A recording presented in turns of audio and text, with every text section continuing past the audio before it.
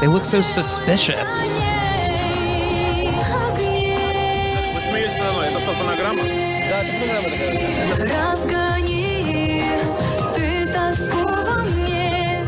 Okay, so they think that she's lip syncing. Now they're gonna test her out.